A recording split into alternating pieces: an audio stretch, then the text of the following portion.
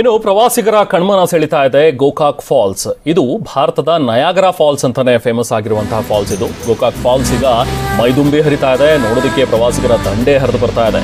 ನೂರ ಎಂಬತ್ತು ಅಡಿಯಿಂದ ಜಲಧಾರೆ ಧುಮ್ಮುಕ್ತಾ ಇದೆ. ಅದನ್ನ ನೋಡೋದು ಒಂದು ಕಣ್ಣಿಗೆ ಹಬ್ಬ. ಹೌದು, ಗೋಕಾಕ್ ಅಂದ ತಕ್ಷಣ ನೆನಪಿಗೆ ಬರುವುದೇ ಗೋಕಾಕ್ ಕರದಂಟು ಹಾಗೂ ಗೋಕಾಕ್ ಫಾಲ್ಸ್.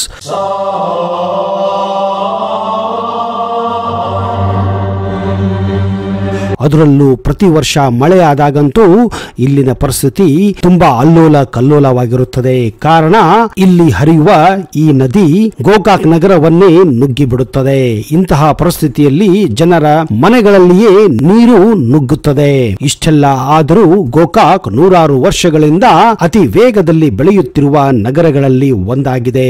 ಬನ್ನಿ ಗೋಕಾಕ್ ಬಗ್ಗೆ ಇನ್ನಷ್ಟು ಕೆಲವು ನಿಗೂಢ ಹಾಗೂ ಕುತೂಹಲ ಮಾಹಿತಿಯನ್ನ ಇವತ್ತಿನ ಈ ವಿಡಿಯೋ ಮೂಲಕ ಪಡೆಯೋಣ.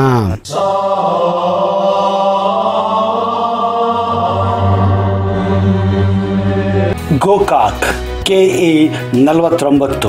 ಗೋಕಾಕ್, ಬೆಳಗಾವಿ ಜಿಲ್ಲೆಯ ಎರಡನೆಯ ಅತಿ ದೊಡ್ಡ ನಗರವಾಗಿದೆ. ಗೋಕಾಕ್ ನಗರಸಭೆಯು ಕರ್ನಾಟಕದ ಹಳೆಯ ಮುನ್ಸಿಪಾಲ್ಟಿಗಳಲ್ಲಿ ಪೈಕಿ ಒಂದು. ಇದು ಸಾವಿರದ ಎಂಟುನೂರ ಐವತ್ತ್ಮೂರರಲ್ಲಿ ಸ್ಥಾಪನೆಗೊಂಡಿದೆ. ಪುಣೆ ಮುನ್ಸಿಪಾಲ್ಟಿ ಹಾಗೂ ಗೋಕಾಕ್ ಮುನ್ಸಿಪಾಲ್ಟಿ ಏಕಕಾಲಕ್ಕೆ ಈ ಮುನ್ಸಿಪಾಲ್ಟಿಗಳು ಅಸ್ತಿತ್ವಕ್ಕೆ ಬಂದಿರೋದು ಗಮನವಹಿಸಬೇಕಂತಹ ಸಂಗತಿ. ಕರ್ನಾಟಕದ ಸುಪ್ರಸಿದ್ಧ ಸಿಹಿ ತಿಂಡಿ ಕರದಂಟು ಪ್ರಾರಂಭವಾಗಿದ್ದು ಇದೇ ಗೋಕಾಕ್ನಲ್ಲಿ. ಯಾರಾದರೂ ಗೋಕಾಕಿಗೆ ಬಂದರೆ ಕರದಂಟು ತಿನ್ನದ ಹಾಗೆ ಕರದಂಟನ್ನು ಪಾರ್ಸಲ್ ಮಾಡದ ಹಾಗೆ ಯಾರು ಹೋಗಲು ಸಾಧ್ಯನೇವಿಲ್ಲ ಅದಕ್ಕೆ ಗೋಕಾಕ್ ಕರೆದಂಟು ಇಡೀ ಕರ್ನಾಟಕದಲ್ಲಿ, ಇಡೀ ದೇಶದಲ್ಲೇ ತುಂಬಾನೇ ಪ್ರಸಿದ್ಧಿ ಪಡೆದಿದೆ. ಗೋಕಾಕ್ ತಾಲೂಕು ಕರ್ನಾಟಕದಲ್ಲೇ ಅತಿ ಹೆಚ್ಚು ಸಕ್ಕರೆ ಮತ್ತು ಸಿಮೆಂಟ್ ಕಾರ್ಖಾನೆಗಳನ್ನು ಹೊಂದಿರುವಂತಹ ತಾಲೂಕುಗಳಲ್ಲಿ ಒಂದು ಅನ್ನೋದನ್ನ ನೀವು ಗಮನಿಸಬಹುದು. ಇಲ್ಲಿ ಕಬ್ಬು ಮತ್ತು ಸಿಮೆಂಟ್ ಫ್ಯಾಕ್ಟ್ರಿಗಳು ತುಂಬಾನೇ ಇವೆ. ಗೋಕಾಕ್ ನಗರ ಹಿಂದೆ ಕೆಲ ಕಾಲ ಜಮಖಂಡಿ ಸಂಸ್ಥಾನ ಕಿತ್ತೂರು ಸಂಸ್ಥಾನ ಹಾಗೂ ಮರಾಠ ಪೇಶ್ವೆಗಳ ಆಡಳಿತಕ್ಕೂ ಒಳಪಟ್ಟಿತ್ತು ಎನ್ನುವುದು ತುಂಬಾನೇ ಇಂಪಾರ್ಟೆಂಟ್ ಸಂಗತಿಯಾಗಿದೆ. ಗೋಕಾಕ್ ನಗರ ಬೆಳಗಾವಿಯಿಂದ ಸುಮಾರು ಅರವತ್ತು ಕಿಲೋಮೀಟರ್ ದೂರದಲ್ಲಿದೆ. ಹಾಗೆಯೇ ಗೋಕಾಕ್ ನಗರ ಬೆಂಗಳೂರಿನಿಂದ ಸುಮಾರು ನಾನ್ನೂರ ನಲವತ್ತ್ಮೂರು ಕಿಲೋಮೀಟರ್ ದೂರದಲ್ಲಿದೆ. ಕರ್ನಾಟಕದ ಎರಡನೇ ದೊಡ್ಡ ಜಲಪಾತ ಗೋಕಾಕ್ನಲ್ಲಿದೆ. ಗೋಕಾಕ್ ಜಲಪಾತ ಗೋಕಾಕ್ನಿಂದ ಆರು ಕಿಲೋಮೀಟರ್ ದೂರದಲ್ಲಿರುವ ಈ ಜಲಪಾತ ಘಟಪ್ರಭಾ ನದಿಯಿಂದ ಉಂಟಾಗುತ್ತದೆ. ಗೋಕಾಕ್ ಜಲಪಾತವು ಅಮೆರಿಕ ದೇಶದ ನಾಯಗರ ಜಲಪಾತವನ್ನು ಹೋಲುವುದರಿಂದ ಇದನ್ನು ಭಾರತದ ನಯಗರ ಎಂದೇ ಕರೆಯಲಾಗುತ್ತದೆ ಅಥವಾ ಮಿನಿ ನಾಯಗರ ಎಂದು ಕೂಡ ಕರೆಯುತ್ತಾರೆ. ನೂರ ಎಂಬತ್ತು ಅಡಿಯಿಂದ ಧುಮುಕುವ ನೀರು ಇಲ್ಲಿನ ನಯನ ಮನೋಹರ ದೃಶ್ಯವನ್ನು ನಿರ್ಮಿಸಿದೆ. ವರ್ಷದ ಜೂನ್ ಆರಂಭದಿಂದ ಡಿಸೆಂಬರ್ವರೆಗೂ ಇಲ್ಲಿಗೆ ನೀವು ಈ ಫಾಲ್ಸ್ ಅನ್ನು ನೋಡಲು ಭೇಟಿ ನೀಡಬಹುದು. ಮಳೆಗಾಲದಲ್ಲಿ ದಪ್ಪ ಕೆಂಪು ಕಂದು ಬಣ್ಣದ ನೀರು ಬಂಡೆಯ ಅಂಚನ್ನು ಉಜ್ಜುತ್ತಾ ಸ್ವಲ್ಪ ದೂರದಿಂದಲೇ ಕೇಳಿಸುವ ಸಣ್ಣ ಘರ್ಜನೆಯೊಂದಿಗೆ ಹರಿದು ಬರುತ್ತದೆ. ನದಿಗೆ ಅಡ್ಡಲಾಗಿ ಒಂದು ತೂಗು ಸೇತುವೆ ಕೂಡ ಇದೆ. ಇದನ್ನು ದಾಟುವುದು ಒಂದು ಒಂದು ಅದ್ಭುತವಾದಂತಹ ಎಕ್ಸ್ಪೀರಿಯನ್ಸ್ ಅಥವಾ ಅನುಭವ ಎಂದು ನಾವು ಕರೆಯಬಹುದು. ಇದರ ಅಳತೆ ಸುಮಾರು ಎರಡು ನೂರ ಒಂದು ಮೀಟರ್ ಅಥವಾ ಆರುನೂರ ಐವತ್ತೊಂಬತ್ತು ಅಡಿ ಇದೆ. ಇದರ ಎತ್ತರ ಕಲ್ಲು ಹಾಸಿಗೆಯಿಂದ ಹದಿನಾಲ್ಕು ಮೀಟರ್ ಅಂದರೆ ನಲವತ್ತಾರು ಅಡಿ ಮೇಲೆ ಇದೆ. ಹಳೆಯದೊಂದು ವಿದ್ಯುತ್ ಉತ್ಪಾದನಾ ಕೇಂದ್ರ ಕೂಡ ಇದೆ. ಇದನ್ನು ಹದಿನೆಂಟುನೂರ ಎಂಬತ್ತೇಳರಲ್ಲಿ ಮೊದಲ ಬಾರಿಗೆ ಇಲ್ಲಿ ವಿದ್ಯುತ್ತನ್ನು ಉತ್ಪಾದಿಸಲಾಗಿತ್ತು. ಗೋಕಾಕ್ ಕೃಷಿ ಉತ್ಪನ್ನ ಮಾರುಕಟ್ಟೆಯಲ್ಲಿ ಕರ್ನಾಟಕದಲ್ಲಿಯೇ ನಂಬರ್ ಒನ್ ಅದರಲ್ಲೂ ಬೆಲ್ಲ, ಗೋವಿನ ಜೋಳ ಮತ್ತು ಹತ್ತಿ ವ್ಯಾಪಾರಕ್ಕೆ ಇಡೀ ಕರ್ನಾಟಕದಲ್ಲದೆ ಇಡೀ ಉತ್ತರ ಹಾಗೂ ದಕ್ಷಿಣ ಭಾರತಗಳಲ್ಲಿಯೂ ಕೂಡ ಪ್ರಸಿದ್ಧಿಯನ್ನು ಹೊಂದಿದೆ. ಗೋಕಾಕ್ ಸಾವಿರ ಶತಮಾನದ ಹಿಂದಿನ ಇತಿಹಾಸ ಹೊಂದಿದೆ. ಯಾಕಂದರೆ ಇಲ್ಲಿ ಹತ್ತಕ್ಕೂ ಹೆಚ್ಚು ಸಾವಿರ ಶತಮಾನದ ಜೈನರ ಶಾಸನಗಳು ದೊರೆತಿವೆ. ಅದಕ್ಕೆ ಗೋಕಾಕ್ ಒಂದು ಅತಿ ಹಳೆಯ ನಗರವಾಗಿತ್ತು ಎನ್ನುವುದಕ್ಕೆ ಒಂದು ಇದಕ್ಕೆ ಪೂರಕವಾಗಿವೆ.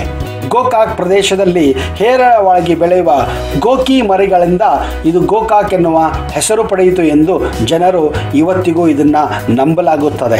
ಗೋಕಾಕ್ ಪಟ್ಟಣ ಕಟ್ಟಿಗೆಯ ಹಣ್ಣಿನ ಫಲಕ ಗೊಂಬೆ ಮುಂತಾದ ಕರಕುಶಲ ವಸ್ತುಗಳ ತಯಾರಿ ಮಾಡುವುದರಲ್ಲಿ ಇಡೀ ದೇಶದಲ್ಲೇ ಅಲ್ಲದೆ ವಿಶ್ವಾದ್ಯಂತ ಹೆಸರು ಮಾಡಿದೆ. ಗೋಕಾಕ್ ಸಮುದ್ರ ಮಟ್ಟಕ್ಕಿಂತ ಐದು ನೂರ ಎಪ್ಪತ್ತು ಮೀಟರ್ ಎತ್ತರದಲ್ಲಿದೆ. ಹದಿನಾರನೇ ಶತಮಾನದಲ್ಲಿ ಈ ಪಟ್ಟಣವನ್ನ ಆಳಿದ ರಾಣಿ ಅಬ್ಬಕ್ಕ ಮತ್ತು ಗೋಕಾಕ್ ಕೋತ್ವಾಲ್ ನಡುವೆ ವಿವಾದ ಮತ್ತು ಯುದ್ಧ ನಡೆಯಿತು. ನಗರದ ಪಶ್ಚಿಮ ಭಾಗದಲ್ಲಿ ಇನ್ನೂ ಹಾಳಾಗಿರುವ ಕೋಟೆಯನ್ನು ನೀವು ಕಾಣಬಹುದು. ಘಟಪ್ರಭಾ ನದಿ ಗೋಕಾಕ್ ತಾಲೂಕಿನ ಜೀವನದಿಯಾಗಿದೆ.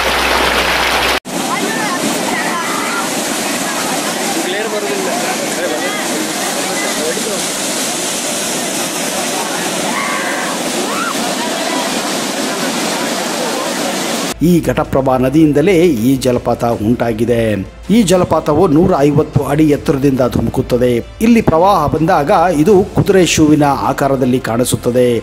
ಮಳೆಗಾಲದಲ್ಲಿ ಇದರ ಆರ್ಭಟ ನಿಜಕ್ಕೂ ಅದ್ಭುತವಾಗಿರುತ್ತದೆ. ದಟ್ಟವಾದ ಕೆಂಪು ಕಂದು ಬಣ್ಣದ ನೀರಿನಿಂದ ಮಂದವಾದ ಘರ್ಜನೆ ಮೂಲಕ ಹರಿಯುತ್ತದೆ.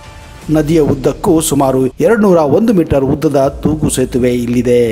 ಇಲ್ಲಿ ಒಮ್ಮೆಗೆ ಮೂವತ್ತು ಜನಕ್ಕೆ ಮಾತ್ರ ಹೋಗಲು ಅವಕಾಶವಿದೆ. ಮಳೆಗಾಲದಲ್ಲಿ ಈ ಜಲಪಾತವು ನೀರಿನಿಂದ ತುಂಬಿದ್ದು ನೀರಿನ ಪ್ರವಾಹ ತುಂಬಾನೇ ಅಧಿಕವಾಗಿರುತ್ತದೆ. ಈ ಜಲಪಾತದಲ್ಲಿ ಮಳೆಗಾಲದಲ್ಲಿ ನೀರಿಗೆ ಇಳಿಯುವುದು ನಿಜಕ್ಕೂ ಅಪಾಯಕಾರಿ. ಜುಲೈನಿಂದ ಸೆಪ್ಟೆಂಬರ್ ತಿಂಗಳವರೆಗೆ ಮೈದುಂಬಿ ವಿವಿಧ ಕವಲುಗಳಾಗಿ ಧುಮುಕುವ ಈ ಜಲರಾಶಿ ನೋಡಲು ಸಾವಿರಾರು ಜನರು ನೂರಾರು ಊರುಗಳಿಂದ ಬರುತ್ತಾರೆ.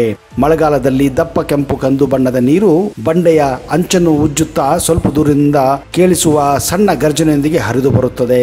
ಈ ಸ್ಥಳದ ಒಂದು ಕುತೂಹಲಕಾರಿ ಅಂಶವೆಂದರೆ ಚಾಲುಕ್ಯರ ಕಾಲಕ್ಕೆ ಸೇರಿದ ಸ್ಮಾರಕಗಳು ಇಲ್ಲಿನ ಕಲ್ಲಿನ ಕಣವೆಯ ಎರಡೂ ದಂಡೆಯಲ್ಲಿ ನೀವು ನೋಡಬಹುದು. ಈ ಸ್ಥಳದ ಮತ್ತೊಂದು ಆಕರ್ಷಣೆ ಎಂದರೆ ಚಾಲುಕ್ಯ ವಾಸ್ತುಶಿಲ್ಪಿಯಲ್ಲಿ ನಿರ್ಮಿಸಲಾಗಿರುವಂತಹ ಮಹಾಲಿಂಗೇಶ್ವರ ದೇವಸ್ಥಾನ. ಸಾವಿರದ ಎಂಟುನೂರ ಎಂಬತ್ತೇಳರಲ್ಲಿ ಮೊದಲ ಬಾರಿಗೆ ವಿದ್ಯುತ್ ಶಕ್ತಿ ಇಲ್ಲಿ ಉತ್ಪಾದಿಸಲಾಗಿತ್ತು. ಉತ್ಪಾದನಾ ಕೇಂದ್ರವನ್ನು ರೋಪ್ವೇ ಮೂಲಕ ತಲುಪಬಹುದು. ಅಂದ ಹಾಗೆ ಗೋಕಾಕ್ ರಾಜ್ಯ ಹೆದ್ದಾರಿ ಮೂವತ್ತೊಂದು ಹಾಗೂ ರಾಷ್ಟ್ರೀಯ ಹೆದ್ದಾರಿ ಮೂಲಕ ಸಂಪರ್ಕವನ್ನ ಹೊಂದಿದೆ. ಇಲ್ಲಿ ಕರ್ನಾಟಕದ ಅನೇಕ ಭಾಗಗಳಿಂದ ನೇರವಾದ ಕೆಎಸ್ಆರ್ಟಿಸಿ ಬಸ್ ಸೌಕರ್ಯ ಹಾಗೂ ಪ್ರೈವೇಟ್ ಬಸ್ಸುಗಳ ಸೌಕರ್ಯ ಕೂಡ ಇದೆ. ಇದೇ ಕಾರಣ ಕರ್ನಾಟಕ, ಗೋವಾ, ಮಹಾರಾಷ್ಟ್ರದ ಎಲ್ಲಾ ಪ್ರಮುಖ ಸ್ಥಳಗಳಿಂದ ಪ್ರವಾಸಿ ಪ್ರೇಮಿಗಳು ಗೋಕಾಕ್ ಜಲಪಾತವನ್ನು ನೋಡಲು ಇಲ್ಲಿಗೆ ಬರುತ್ತಾರೆ. ಅಂದ ಹಾಗೆ ಬೆಳಗಾವಿ ಹುಬ್ಬಳ್ಳಿ ಧಾರವಾಡದಿಂದ ಗೋಕಾಕ್ಗೆ ಪ್ರತಿದಿನ ನೇರವಾದ ಬಸ್ ಸೌಕರ್ಯ ಕೂಡ ಇದೆ. ಒಂದು ವೇಳೆ ನೀವು ಗೋಕಾಕ್ ಫಾಲ್ಸ್ ಅನ್ನ ರೈಲಿನ ಮೂಲಕ ತಲುಪಬೇಕೆಂದರೆ ಹತ್ತಿರವಾದಂತಹ ರೈಲ್ವೆ ನಿಲ್ದಾಣ, ಅದು ಗೋಕಾಕ್ ರೋಡ್, ಕುನ್ನೂರು ಹಾಗೂ ಘಟಪ್ರಭಾ ಹತ್ತಿರದ ರೈಲ್ವೆ ನಿಲ್ದಾಣಗಳಾಗಿವೆ. ಇವು ಸುಮಾರು ಹನ್ನೆರಡು ಹಾಗೂ ಹದಿನಾಲ್ಕು ಕಿಲೋಮೀಟರ್ ದೂರದಲ್ಲಿವೆ. ಅಂದ ಹಾಗೆ ಗೋಕಾಕ್ ಫಾಲ್ಸ್ ನೋಡಿದವರು ಗೊಡಚಿ ಮಲ್ಕಿ ಫಾಲ್ಸ್ ನೋಡಲೇಬೇಕು. ಗೋಕಾಕ್ ಫಾಲ್ಸ್ನಿಂದ ಕೇವಲ ಸುಮಾರು ಹತ್ತು ಕಿಲೋಮೀಟರ್ ಕ್ರಮಿಸಿದರೆ ಗೊಡಚಿ ಮಲ್ಕಿ ಜಲಪಾತ ಸಿಗುತ್ತದೆ. ಮಾರ್ಕಂಡೆ ನದಿಗೆ ಉಂಟಾಗಿರುವ ನೈಸರ್ಗಿಕ ಜಲಪಾತ ಇದು. ಕಲ್ಲಿನ ಮೇಲೆ ಕೆಂಪು ಮಿಶ್ರಿತ ನೀರು ಹರಿಯುವ ಮೂಲಕ ಇಲ್ಲಿ ಪ್ರವಾಸಿಗರನ್ನು ಇದು ಕೈಬೀಸಿ ಕರೆಯುತ್ತದೆ. ಅದರಲ್ಲೂ ಜೂನ್, ಜುಲೈ ಹಾಗೂ ಆಗಸ್ಟ್ ತಿಂಗಳಲ್ಲಿ ಈ ಜಲಪಾತ ಮೈದುಂಬಿಕೊಂಡು ಹರಿಯುತ್ತದೆ. ಸ್ನೇಹಿತರೆ, ಒಂದು ವೇಳೆ ನೀವು ಬೆಳಗಾವಿ, ಕಿತ್ತೂರು, ಹುಬ್ಬಳ್ಳಿ, ಧಾರವಾಡ, ಬೈಲಹೊಂಗಲ ಗೋಕಾಕ್ಗೆ ಹೋದ್ರೆ ಈ ಅದ್ಭುತವಾದಂತಹ ಮಿನಿ ನಾಯಗರ ಅಂದ್ರೆ ಗೋಕಾಕ್ ಜಲಪಾತವನ್ನ ತಪ್ಪದೆ ಭೇಟಿ ಕೊಡಿ.